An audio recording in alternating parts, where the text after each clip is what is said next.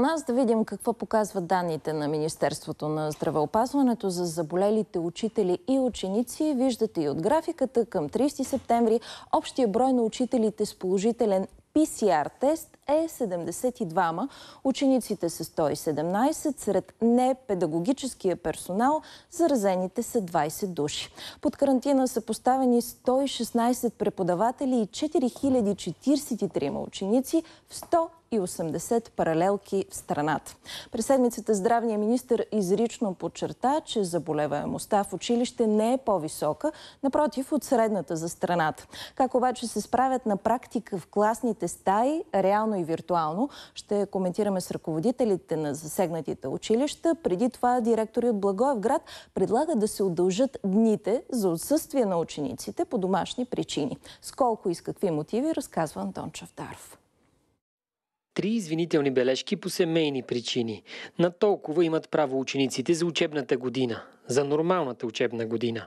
За тази обаче, пълна с неизвестни заради коронавируса, директорите смятат, че лимитът трябва да се увеличи, защото обстоятелствата в едните месеци изглежда ще бъдат такива, че учениците ще трябва доста често да остават вкъщи. Търсят се баби, търсят се всякакви средства.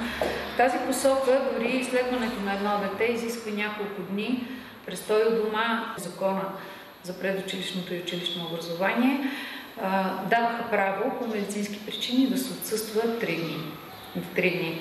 Но тъй като са особени времената на пандемия, ние внесохме на предложение този брой на отсъствия да бъде увеличен до 15.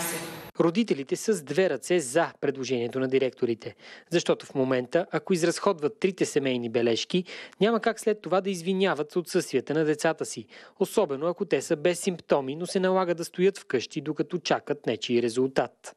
Няма да е лошо. При това положение няма да е лошо. Да, за този въпрос съм. Ами той не ще е варианта за ученик. Той ако има леки симптоми и не е COVID, той пак не може да отиде в училище лекара няма да даде бележка и тогава да, е нужно да има по семейни причини. Аз даже не бех наясно, че само три имаме права бележки. Сте писали? Не. Не. Не са ли ви молили вкъщи? Не. Не. Не. Много, Много ми е добро детето, да. Ако са да, по семейни причини и по уважителни причини, не просто по семейни, защото някой просто решил, че детето му трябва да бъде извън училище, нали, по някакви си там а, странични причини. Да, ако е уважителна причина, примерно а, болест в семейството или нещо от този род, да. Крие ли рискове обаче евентуалното разрешение за повече отсъствия? Според някои от родителите със сигурност ще има ученици, които ще оползотворят изцяло позволения брой извинителни бележки, независимо дали това се налага или не. По-големите, да. Аз имам и малко дете и голямо. Голямото със сигурност ще се възползва. И вече знае, че не се пишат отсъствия. Те и сега злоупотребяват без особени причини. Имаме механизми на електронния дневник, в които всички родители получават съответните съобщения и могат да реагират веднага. Те са наясно какъв е броя на отсъствията на техните деца. А началото на учебната година, въпреки че на много места цели класове учат дистанционно, е сравнително успешно, защото всички заедно, учители, ученици и родители с общи усилия, опитват да подредят образователния процес, колкото и трудно на моменти да се случва това.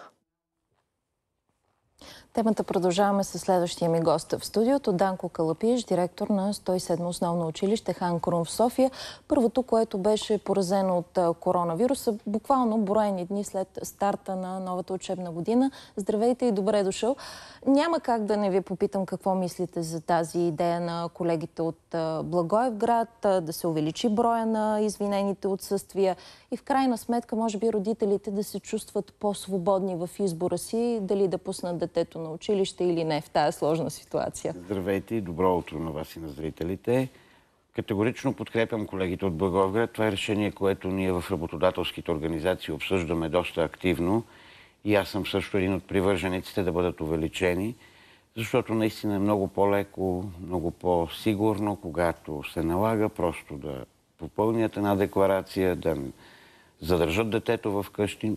За мен е абсолютно резонно да бъдат увеличени, разбира се, само в тази обстановка домашните причини, отсъствията по домашни причини. И на фона на тази обстановка, много ли са родителите, които предпочитат децата им да останат вкъщи и да се обучават онлайн? Питам конкретно за вашето училище. Конкретно за моето училище към днешна дата съм издал пет заповеди, три от които са на деца за поздравословни причини, т.е. самите деца имат проблеми, две касаят проблеми на родители.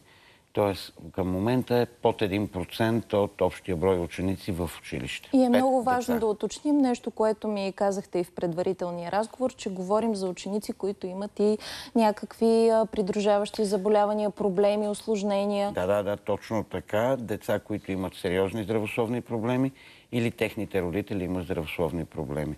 Три деца са с сериозни здравословни проблеми, две деца са с проблеми на родителите. Нямам такива, които са пожелани и изискват разрешение от по-висша инстанция. А има ли ученици, които натрупаха извинени или неизвинени отсъствия за този отрязък от време? Извинени отсъствия има, разбира се. Както се знае, имахме четири карантинирани паралелки. Тези паралелки имаха братчета, сестричета, които също прецениха, че ще останат под карантина поради личната отговорност, която родителите поеха. Разбира се, в тази ситуация сме разрешили извиняване на отсъствията с декларация точно поради поставяне на член от семейството под карантина. Добавили сме си го в правилника, че ще, ще попълват такава декларация, която е по-различна от домашните причини, защото тук се касае за здравословно състояние и поставяне под домашна карантина. Така, и че... като говорим за здравословно състояние, какво се случи с тези четири паралелки, които бяха под карантина? Върнаха ли се вече? Здрави ли са децата? Четирите паралелки се върнаха. От а, петък са на училище. Изтече 14-дневната карантина. Всички деца 100% бяха в училище, здрави, без проблем. Колегите поетапно се завръщат, съответно, зависи от броя дни, когато е поставен под карантина петък се завърна първия колега, в понеделник очакваме втори колега, във вторник очакваме други два.